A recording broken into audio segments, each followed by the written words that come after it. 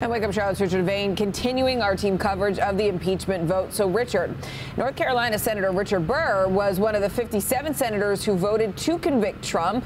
And local members of the Republican Party are not happy about that. Yeah, absolutely correct. Good morning to you, Carolyn. Good Monday morning. Not only are state GOP uh, party upset, the national party is also going to hold a meeting later today to decide to, what they want to do with these seven senators who voted to convict the former president.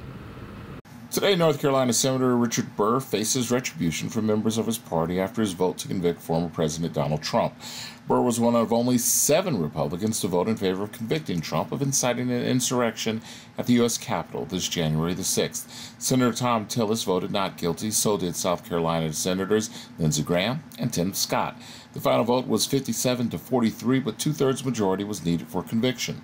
After the vote, Burr issued this statement saying, in part, the president promoted unfounded conspiracy theories to cast doubt on the integrity of a free and fair election because he did not like the results. The president directed his supporters to go to the Capitol to disrupt the lawful proceedings required by the Constitution. When the crowd became violent, the president used his office to first inflame the situation instead of immediately calling for an end to the assault. Burr went on to say the president bears responsibility for these tragic events.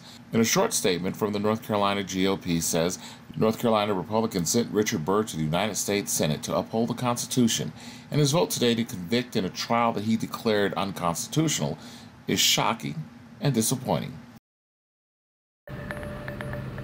Yeah, so far the state of Louisiana has censured its its senator, uh, Senator Sasser, and we can tell you that later today the Republicans will meet to decide what to do uh, about these seven senators. It's another note that we want to tell you: six of those senators are not seeking re-election. We're in Charlotte. Richard Devane for Wake Up Charlotte.